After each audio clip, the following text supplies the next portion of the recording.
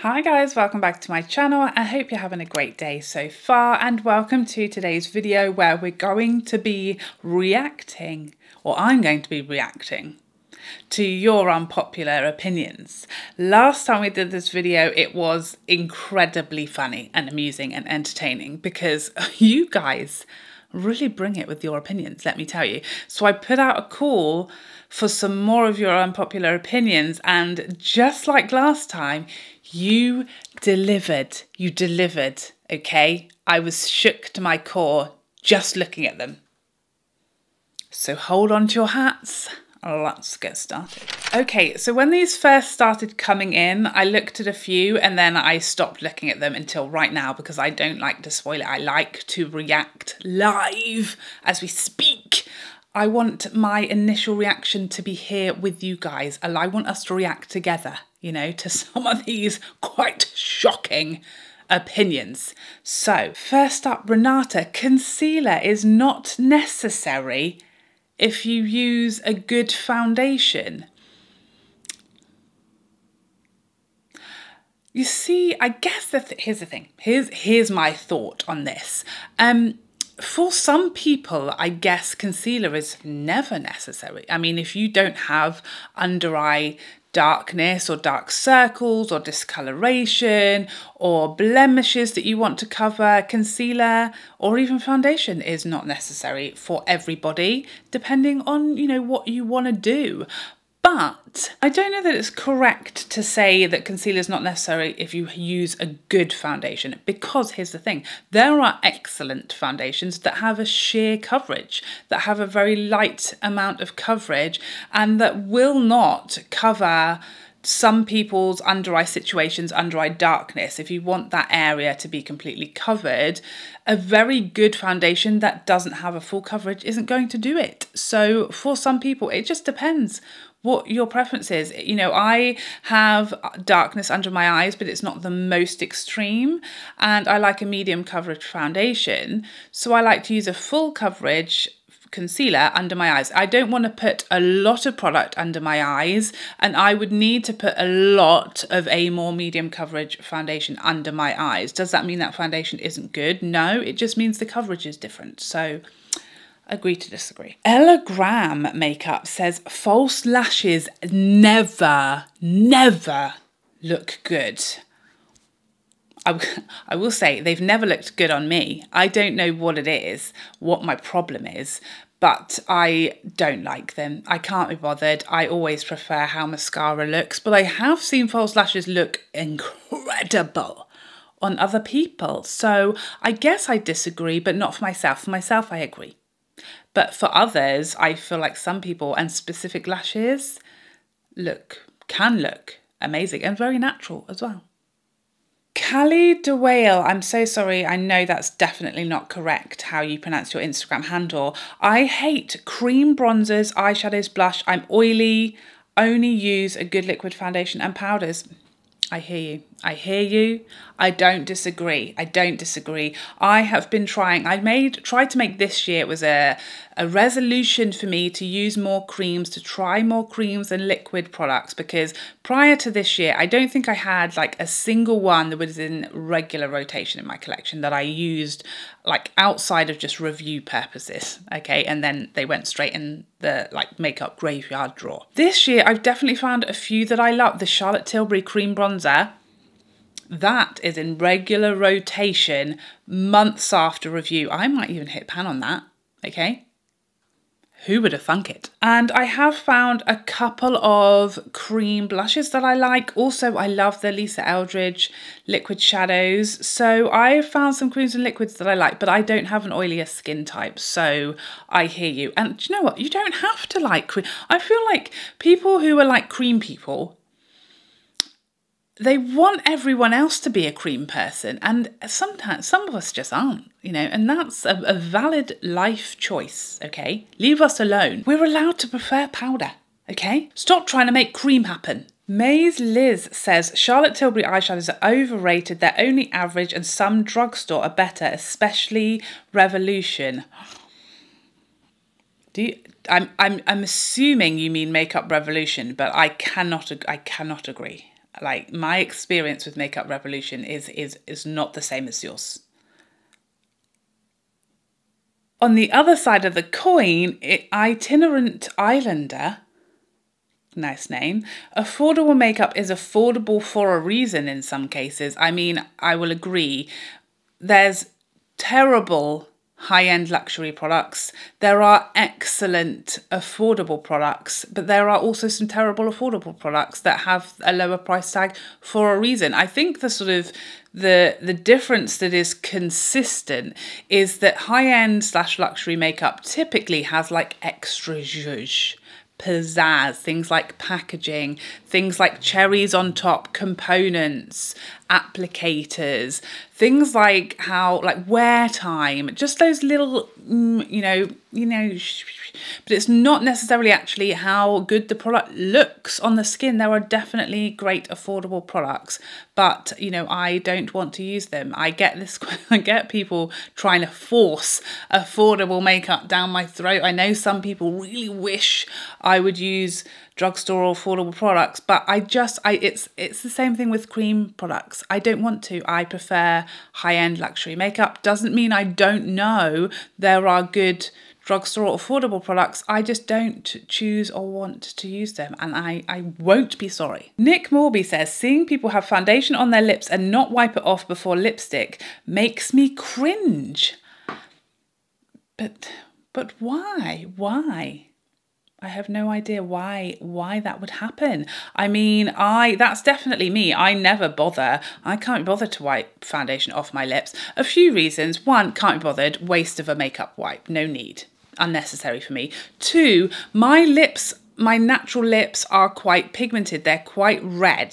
And if I wiped the foundation off of my lips, that's going to pull through the lipstick. So for me, it's not a negative to apply lipstick on top of foundation. One, it actually helps it wear.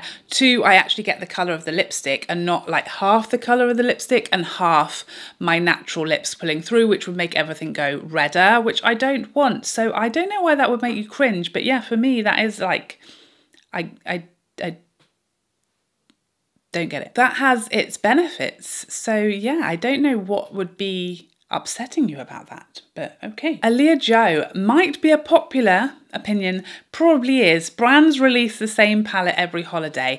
De I mean, for sure. I feel like holiday, you know, there's it's it's a bit like well, most seasons in makeup. They have like their cliched holiday means everything must be sparkly and glittery and we see a lot of like, you know, reds and we see a lot of silvery tones. Like it's the it's you know, the cliche this is what a holiday palette should look like. So I guess there's only so many different ways to do that. Um, I definitely would suggest that Hourglass have essentially been bringing out the same you know, face palette for about 10 years now. So, you know, I don't think you're wrong. Tunisia, hopefully that's in the ballpark of how that's pronounced. I support the do not overpluck brows brief, but do not pluck anything ever isn't the answer. Int intriguing. Now, I will say I don't touch my brows anymore. I learned from the 90s that uh, not to do that. Not a good idea. I'm not qualified and bad things happen and I do tend to overplug. Now I have my brows professionally done. I have my brows laminated once every couple of months and I don't touch them in between. I do not pluck a single hair from the brows. I leave that to my brow tech, but obviously she does. She waxes them and plucks them so to, you know, within an inch of their life. I mean, really, I support you being as hairy or as bald as you choose. I don't really feel like we should go around telling everybody that there's this expectation to be a hairless cat. You know, body hair is there. It's very, very natural, whether it's on your face, your armpits, wherever your body hair is. There's this, you know, we, we've been taught that we must be bald all over our entire bodies. And I don't know that that's necessary. I feel like you, you know, you want to leave your natural brows as they are. You can do whatever you want, you know. Who's to say where hair should be? I guess where where it grows you know? Vixen of Makeup, love it, love the name.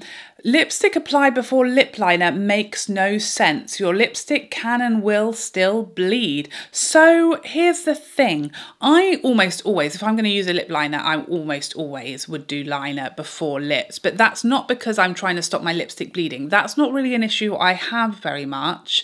I don't know if that's just comes with your lips and the lip area maturing or if it's the lipsticks that you're using, but I don't really have an issue really ever with lipstick bleeding, liner or not, my reason, motivation, if you will, for using a lip liner is typically to get a crisper line or to have some light and shade between my liner and my lipstick.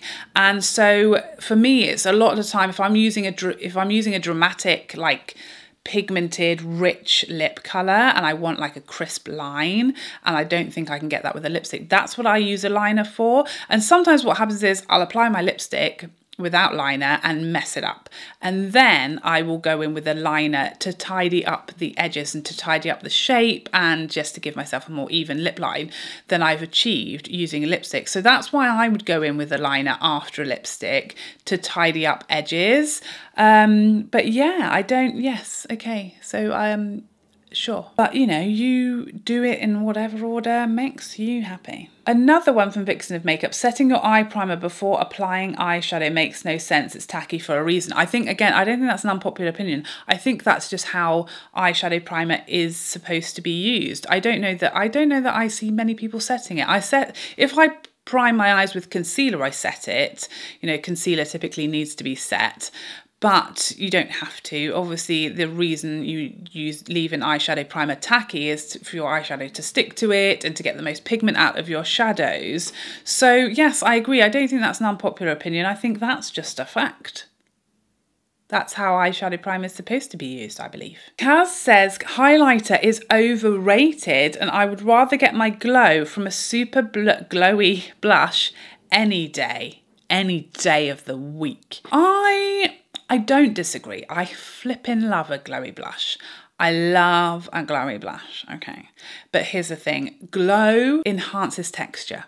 So if you have a very textured cheek area and you're gonna put glow all over it, that is really gonna enhance that texture. Whereas, you know, a more matte or a satin blush and then strategically placed highlighter is gonna leave you a much smoother, less textured cheek area. So I think for some people it makes sense to me. And it's all just about preference, isn't it? I like a bit of light and shade. I like a glowy blush and highlight. You know, that's how I roll. Why have less when you can have more? You know? Mina says, I hate most products I've tried from MAC. Intriguing. What have you tried? I'd like to know. Um, I think MAC has good, bad, average, ugly, great products and everything in between that I did not list. I don't think you can really go wrong with their lipsticks. I think they have great lip liners as well. I think they have great blushes, great blushes, some of the best blushes in the game still to this day.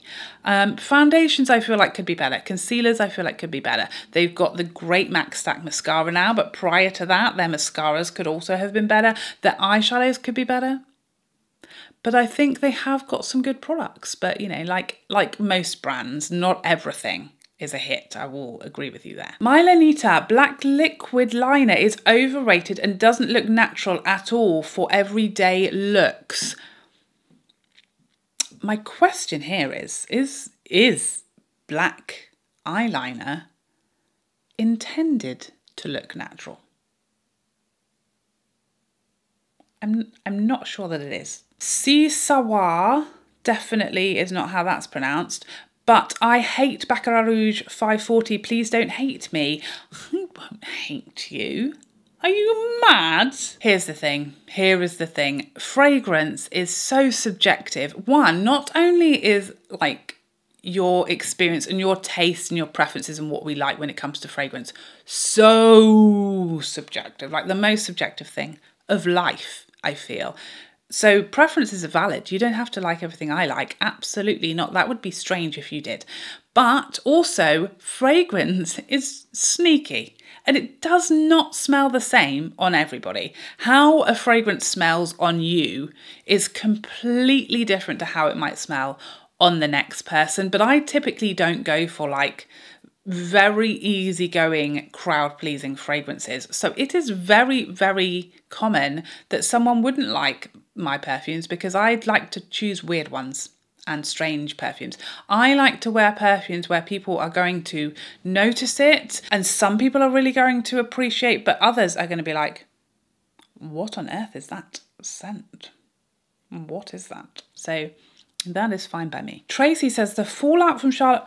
Tracy says the fallout from Charlotte Tilbury's shadows makes them unusable. I am surprised by this one because in the like line of sh- eyeshadows and formulas that I am familiar with and have used and tried a lot, Charlotte Tilbury is really low on like the scale of fallout. So I'm really surprised that that's your experience. I will say like some of the glitter or like topper shades have some fallout, but the rest of her shadows, like her typical mattes and satins and metallics, really I don't have an issue with fallout with those at all. So that's really interesting that that's your experience. But yes, um, I have a different one, but we all have different experiences, and that's the beauty of life. you know? O'Brien, I really didn't like Armani Luminous Silk, Too Faced Concealer, or MAC Stack on me. Now, here's the thing Armani Luminous Silk, Silk back in the day was the foundation. It was the foundation of YouTube. It was the one everybody used, everybody loved, everyone said it was the best of the best of the best. I tried so hard for years to love that foundation and I liked it. I feel like I still feel like I made myself like it but it, it wasn't wowing me either. I never really got the hype. One, I massively struggled ever finding a shade in that foundation that really looked like in any way close to my skin tone. So that was a big issue because that really affects how you feel about a foundation. If, if it looks off because of the shade, you're never going to love it. I never really got it. Like, I never got the hype, honestly. I agree. Um, the Too Faced concealer, very, very high coverage, very thick very heavy concealer. So it's not going to be for everybody. MAC Stack, I'm surprised. I am surprised because I do love that mascara. But, you know, again, mascara is almost as subjective as perfume. So, you know, that's allowed. You're fine. 1966 Mia. Chanel quads are overrated generally, way too sheer. Chanel eyeshadows are really not like my favourite eyeshadow formula for that reason. Like, everyone has different tastes when it comes to eyeshadow. I like, this is what I like, you know, it's Pat McGrath for me. So obviously you would expect Chanel like complete opposite polar end of the spectrum when it comes to eyeshadow. Chanel eyeshadows are very refined, very smooth, very light on the pigment, soft, understated, like typically most of Chanel's line. They're very Chanel, I would say. So I think you have to love and appreciate Chanel as a brand to like be the person that their eyeshadows are special to. It's not me. They're not that special to me. I I I agree that they are like sheer, they don't have enough pigment for my taste, but I just think that I'm not their target audience to be honest. So yeah.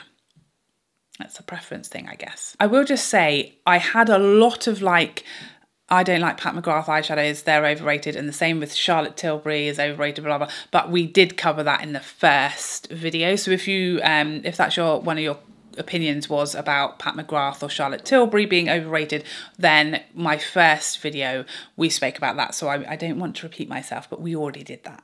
Maria, women over 45 can't wear colour. F I agree. Women over 45 are like old enough to do whatever they want, frankly, and nobody can tell them otherwise. How Mel says fallout isn't problematic. A light dusting of glitter to the cheeks isn't the end of the world. I tend to agree. I do always kind of mention the level of fallout when I'm reviewing eyeshadows just because I know lots of people hate it. And like we've already had a fallout hater comment here. I know lots of people can't stand it. I couldn't care less. Doesn't affect me really whatsoever. I always do my eyeshadow first, so it's not gonna, you know, stay there. I can either wipe it away or just sort of dust it and continue as if it never happened and it doesn't affect my life. But I know some people cannot stand fallout. So, yeah, that's definitely one of those where, you know, it's just a personal preference. Kifani 007 Maple syrup is too sweet and coffee is awful. Even the smell. Now I will say this: I was I was too a coffee hater until about mm, how how long ago? Maybe ten, maybe more years ago. I certainly wasn't like drinking coffee out the womb or anything like that. I started off with a caramel frappuccino. I know a caramel mac something ca- something with caramel in it that was essentially a warm caramel drink that with a with a hint of coffee. I always liked the smell and the idea of coffee, but the taste was like hideous to me. And I still even now don't really like strong coffee, espresso, anything like that.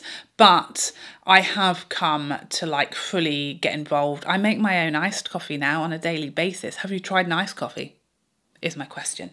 But you don't have to like it. I'm just, I, I don't know how you get through the day. Do you have children? What's happening? Unapologetic Leah says, I don't always want to feel like I'm being whacked in the face by pigment in my eyeshadows, nor should you. Nor should you have to feel like that. Maybe you are a Chanel connoisseur, maybe those shadows are more for you. That's okay. Not everybody likes the same amount of pigment or colour or glitter or shimmer or sparkle or whatever. We are all wonderfully different and probably you love a Chanel eyeshadow because they're much softer and you know horses for courses is the theme of this video. Live and let live.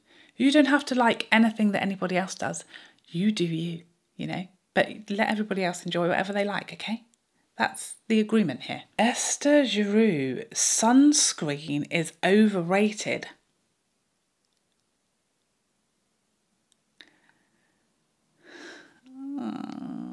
People are going to be mad about this one. Um, shaming people because they got a tan is awful. I love vitamin D. Me too. I love the vitamin D. And I will also say, um, definitely agree that shaming people who you know pick up a tan in summer i get uh, i have a huge amount of issues with this on my channel that when i um tan my skin naturally tans a, a lot in the summer. Um i get a lot of very irritating annoying comments. I actually had to put the word tan in my blocked words at one point because that's how much i got trolled about my skin tone, my natural skin tone. And I get a lot of abuse and just non-stop going on about it, which is frankly boring. And I'll say that, you know, I do wear SPF. I always wear SPF on my face, a high SPF. And in summer, you know, if I'm going out in the sun, I also wear SPF on my body. It really does not in any way stop my skin picking up a tan. Still happens. I have got the most horrendous strap marks on my back because whenever I'm like sit out have lunch out during the summer, we go for a picnic or I sit in the pub garden to have lunch, whatever. I always sit with my back to the sun because I don't want the sun on my face. And I always sit with my back to the sun. I have a little SPF stick. It always goes on my shoulders, on the back of my neck, only where that is exposed. With and it's SPF 50. Without fail, if I sit outside like that with my back to the sun in the summer for an hour, I will have the most extreme strap marks from whatever top I'm wearing whatever I do. I cannot stop it. I cannot help it. The only way to stop it would be to go like fully clothed head to toe all year round, which I cannot, frankly. I will dissolve into a puddle on the floor. But I definitely always wear my sunscreen. So we'll have to agree to disagree on that one. Feud Lou says CT Charlotte Tilbury Magic Cream is like an old Nana cream. Oh, people aren't going to like that one. I mean, I don't mind it, but I won't necessarily go out and buy it. You know, I'm like when it comes to moisturizer, I don't really need a really fancy one. I just want one that is moisturizing. That's all I ask for. Okay, I'm a simple beast. But that did make me laugh. Sahija, I'm so tired of new releases. I don't get excited anymore. I now wait a couple of months to see if people are still excited. I don't think that's a bad thing. I think a cooling off period is great. And also, I imagine your bank balance is super happy about that. I don't think that's a bad thing at all. I think a lot of people a few years ago, everybody bought everything and everyone was, you know, that spending habits in beauty became ridiculous and everyone got carried away. And now it's like we've all got everything already. And if you were, you know, super into makeup and beauty five years ago, probably by now you have run out of things to get excited about. But, you know, that's great for your wallet, is, is what I would say. Why pH 500? I'm not in love with the Living Proof dry shampoo that everyone loves. I am.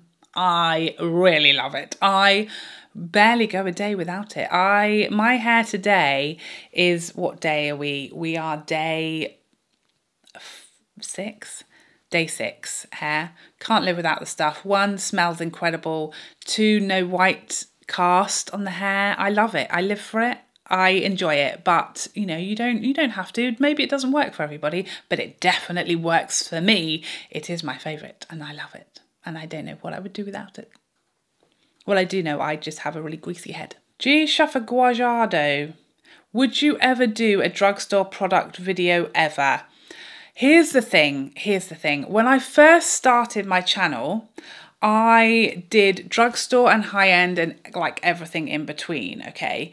Um, but as I, and when I started my channel, I really wasn't super into makeup. I was just getting into makeup. That that was the start of my channel, me like exploring makeup, finding what I liked, and I quite quickly found one, I really just preferred high-end and luxury makeup and I really that's what I enjoyed and that's what I was passionate about. So, naturally it followed that I just was reviewing mostly high-end and luxury makeup and then I was doing a few drugstore slash affordable reviews when there was something I was interested in or when something came out out that I was excited about that I genuinely wanted to try. I wanted my channel to be authentic. So I didn't want to just review every single, I've never really done like a lot of reviews. I wanted my channel to be a bit of variation and mix. And I don't really like to just review every single release. And being English and unable to get hold of a lot of releases and a lot of the more popular affordable brands, I can't do that anyway because a lot of it isn't available to me or just isn't available like as quickly here and therefore I kind of miss out on a lot of stuff that I can't review. So I kind of got to be a bit more creative with my content and what I make as far as my videos. So what I found was that as I got more into luxury and high-end makeup and that was what I was choosing naturally myself to re review to use and that I was showing on my channel, I was getting a lot of people who were constantly attacking me, going on about, I want more drugstore, you need to do more drugstore, why haven't you done, you haven't done a drugstore review for this many weeks, why, blah, blah, blah. And, I, and I found like actually the fact that my channel was kind of featuring some drugstore some of the time was causing me a lot of hassle and a lot of aggro because throwing in one or two here when I was genuinely interested in the product meant that the people who were following my channel and here for drugstore slash affordable reviews were never happy with me. They were always annoyed that I wasn't doing more. It was never good enough. I was always getting harassed about it. So I made a decision after a certain amount of time that, you know what, I'm genuinely not interested in drugstore and affordable makeup for myself and doing bits here and there for my channel and for the viewers who are interested in it is actually causing me more stress, more hassle than it was worth. I felt like what I was, it was just never good enough, and I was getting a lot more hassle for doing bits of drugstore and affordable makeup than if I made the decision which I made, which was to go completely high end luxury. That's what I like anyway. That's what I want to use anyway for myself. And I felt like it was more clear then this is what my channel is it's high end it's luxury beauty and that is what i do so i have done drugstore and affordable years ago. I'm not interested in it now for my own self, my own personal preference is luxury and high end. And the reason I don't sort of do drugstore reviews anymore for people who want that from me is because it causes me a lot of hassle and irritation because people just want more and more and more then and it's just yeah I feel like it's confusing and it's much clearer for everybody that this is what I do and I don't do drugstore and affordable. There are a lot of channels that do drugstore and affordable makeup, so you know you can get that from them. I love and am passionate about and enjoy high end and luxury makeup, and that is what I do here. So I think it's just easier to be clear that this is what my channel is and therefore everyone knows what to expect and what is not going to come from my channel. Karen says, I hate Tom Ford Rose Quartz so much and Chantecaille Giraffe and I force myself to use them. Don't do that, Karen. Don't do it. This is what I learned from doing my project pan that I will never do again. And I was forcing myself to use products that I didn't really want to, um, just to, you know, try and hit pan. And what I learned is life is too short to be using products that don't give you joy. Makeup, doing our makeup, it should be about joy and what makes us happy and what we love and what makes us feel beautiful and that we just enjoy. Treat yourselves nicely Okay, do not force yourself to use those products. Sell them, gift them to someone, or just put them in the makeup graveyard drawer. Use the products that keep you happy and give you joy. We've already spent the money on those. If you can get some money back, then great. But if not, use the products you love and make you happy. Life is too short to be using makeup we hate. No stop it. So I think that's as many unpopular opinions as we can possibly shoehorn into this video before it goes into extra time. You guys always come through with the unpopular opinions, so thank you so much everybody who sent one in. They always are so fun to do. I hope you enjoyed this video and I would love to see you in the next one. Otherwise, take care for now. Bye bye bye bye.